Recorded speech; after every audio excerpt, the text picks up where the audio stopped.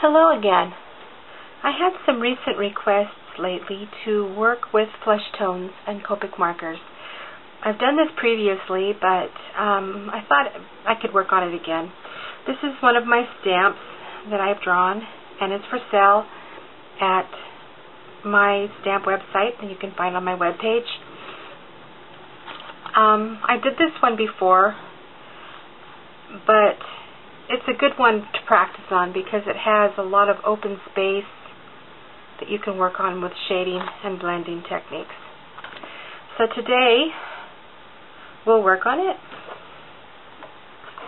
To begin with, I use the same three basic colors for working with flesh tones for Caucasian flesh skin tones.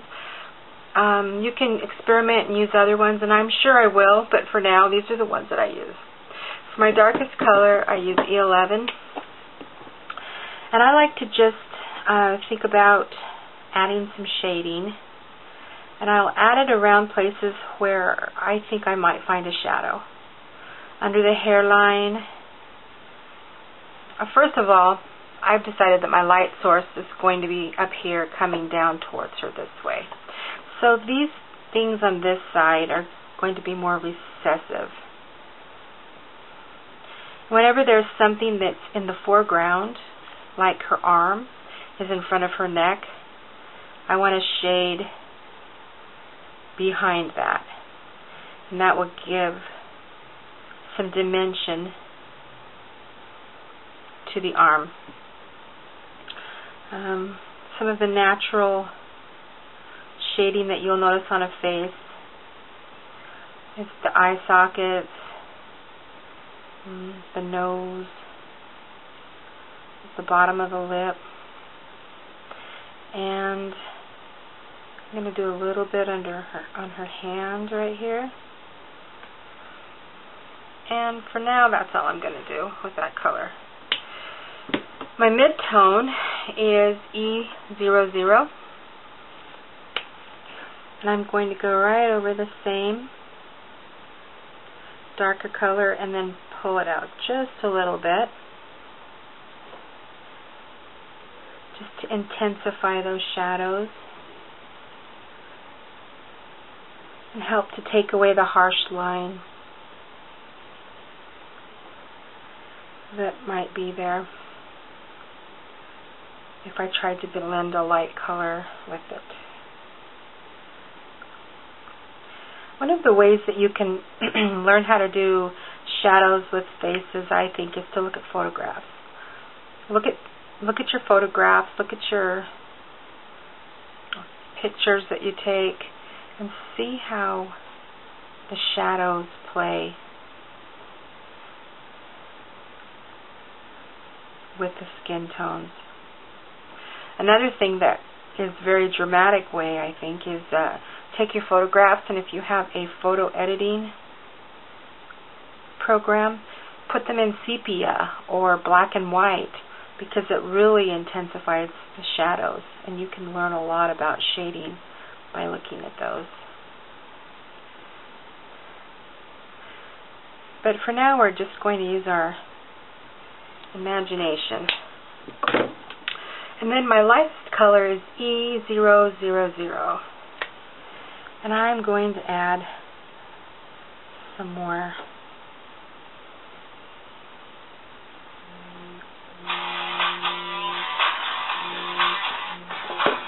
And we'll ignore my cell phone. And I'll just keep on experimenting with this I do apologize for my cell phone I should have turned it off before I started this video, but I didn't think of it, and I wish I had.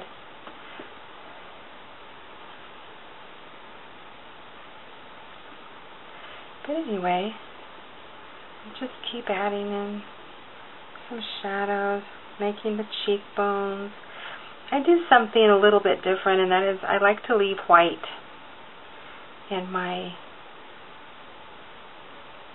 art. And it's not really the way that some people are taught to use Copic markers. Um, the way that I was taught to do it was to color in everything and light and then build up with your darker colors and and it looks fine. It looks really good when people do that if they've got a talent for it. I don't feel like I have a talent for it and I like to leave white. I like the white to be my lightest color. Not in every case, but in most cases I, I do that. And it's just the way that works for me. And that's the nice thing about anything that you work with in art or in coloring is you're going to find the way that works the best for you. And and that's probably the way that you're going to run with it. And it, it never hurts to practice, practice, practice.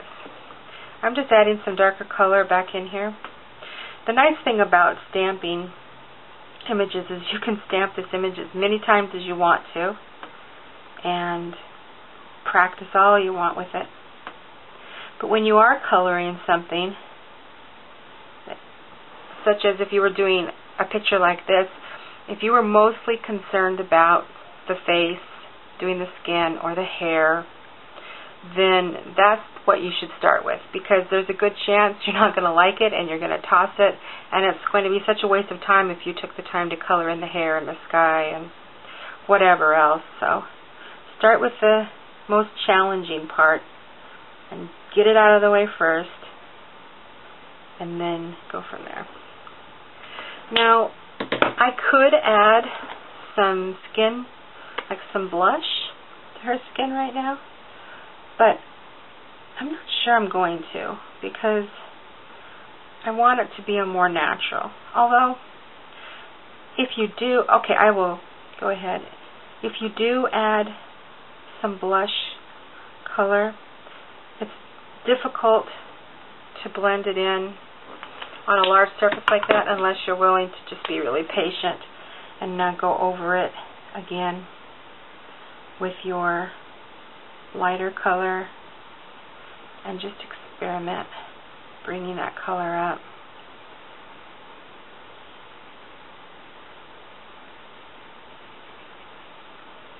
And it becomes less harsh.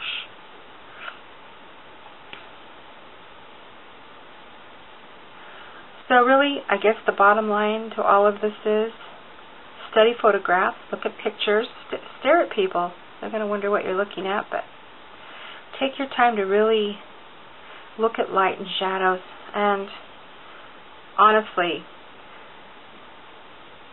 turn your photos into black and white photos or or sepia or something along the lines of that and you can see where all the light and shadows are